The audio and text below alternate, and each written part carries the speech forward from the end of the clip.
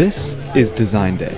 Every semester, engineering students at the University of Maryland come together to present designs they have been working on during the semester. These designs are presented to and judged by some of the biggest voices in industry. But how do students get here? Well, we need to rewind a bit.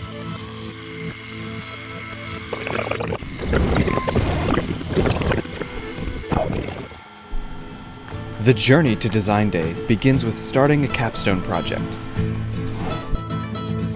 A capstone project draws on what you have learned during your undergraduate studies to solve a real world problem. The capstone project is the final class for senior engineering majors. It's taken by engineering majors in the University of Maryland, the United States, and across the world. But how does a team, like this one, go from an idea to a fully functioning design?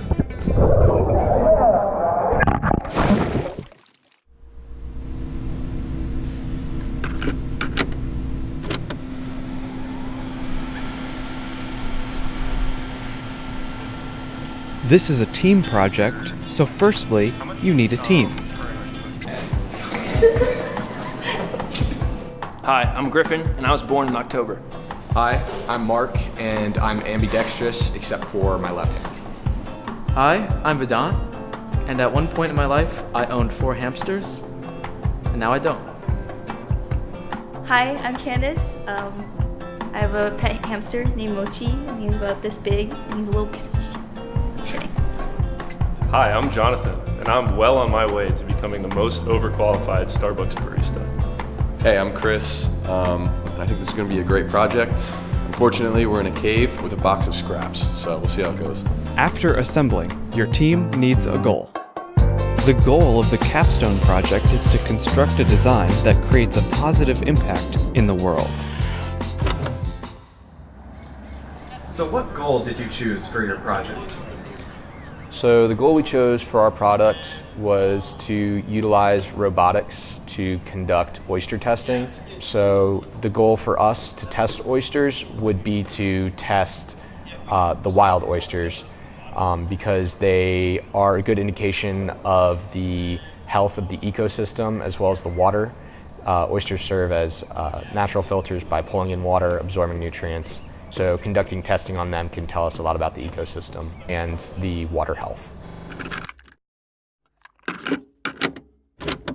After you have a goal, your team must figure out what design they will use to achieve that goal. Let me finish my message. Putting a sleeve over it or something like that. Maybe we, we do some sort of vacuum seal or something.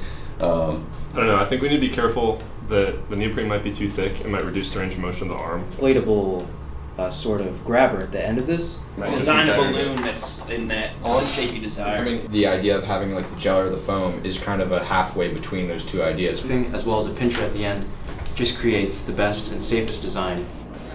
So, what general idea do you have for your design? Um, so for the arm, we're going to be going with a 4 degree of freedom arm with Revolute joints. Um, the servo motors are going to be individually waterproofed, and the gripper will function kind of like this. It's a servo gripper, and it will lift up the oyster.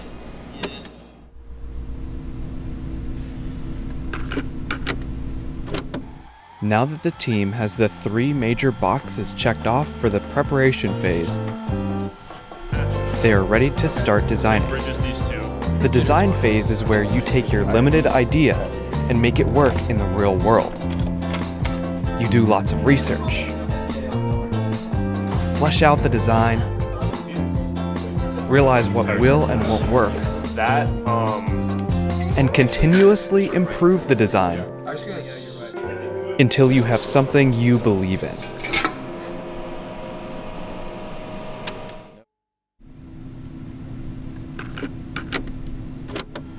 You can't change the world with a plan, no matter how good it is. You need to put it into action.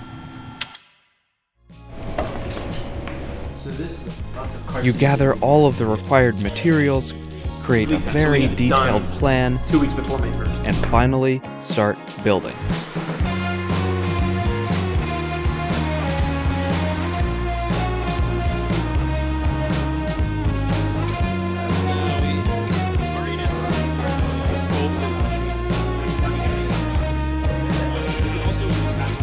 But with every plan, there will be problems. Like, why is it doing this?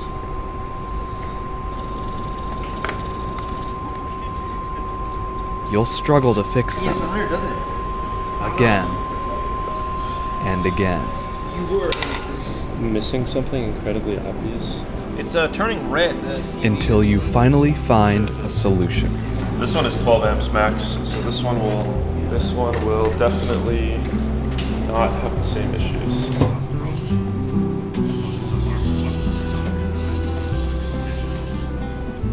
I am very happy, even though my, my face doesn't say it.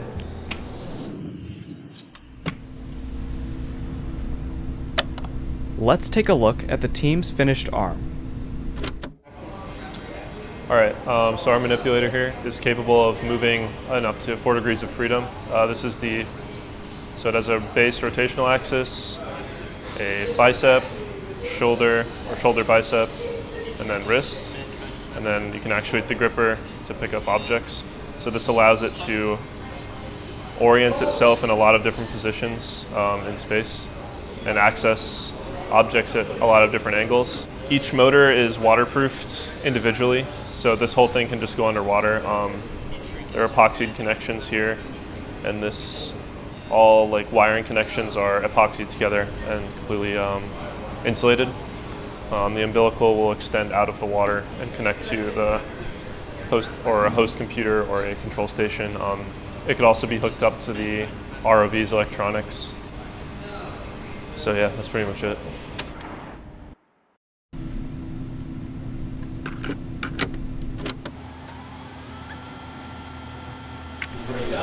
Behind the table, 90% of the tub. Oh, they do have a tub. It's like the same tub.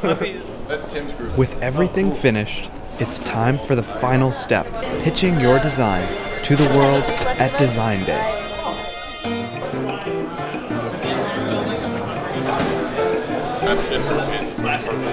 Mark, how do you feel for design day? I'm feeling I'm feeling good.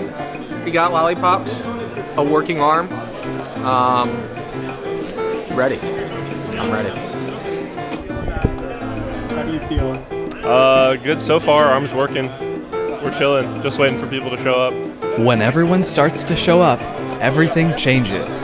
This is Design Day.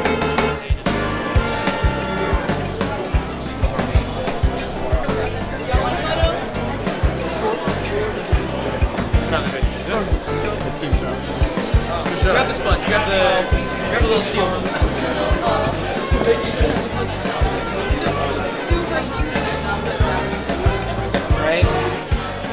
Design Day is also an opportunity to connect with the next generation of engineers and inspire them.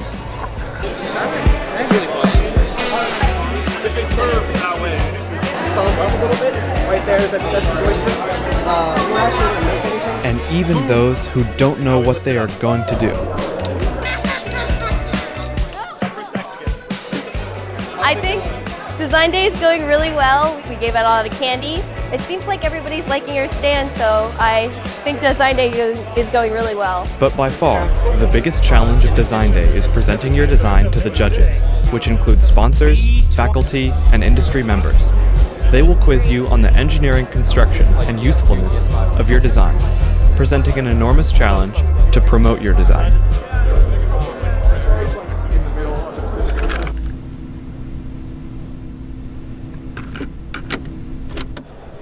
How would you say your experience was with explaining like the purpose of something and how like it's useful? Explaining the purpose, it, it depended on like who was up. Like if it was like a small kid, I'd be like, here, take the controller. Uh, you can figure it out. If it was uh, probably a professor or a judge, I know like they definitely wanted us to hit on certain points more, such as like our calculations, our sustainability. If we really thought of everything, and explaining myself that way was a huge challenge, uh, because in my mind, there's already like a justification for everything that I thought about months ago. And now that these judges are asking questions, it's sort of like bringing back, okay, what was I thinking two months ago when I basically designed the gripper to be this way? Or when I said, that's fine to a certain group member. And it was like definitely a lot of passing around that occurred when the judges were asking me questions. After every team has presented and been judged, environment. it's to be in. time for the So, winners no to be further ado, announced. Uh, let's start with the word. So we're gonna have the winner for mechanical is B20 Gripper Underwater Manipulator.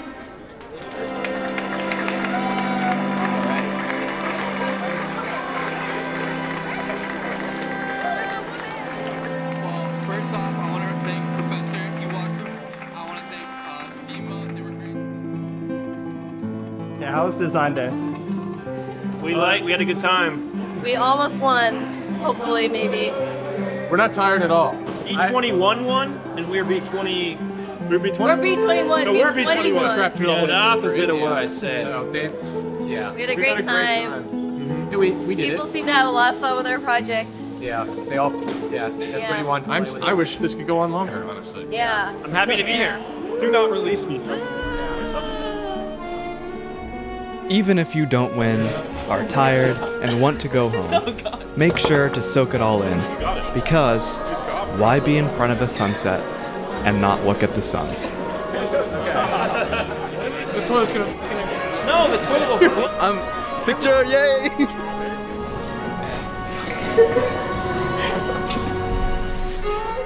Now, what will you design?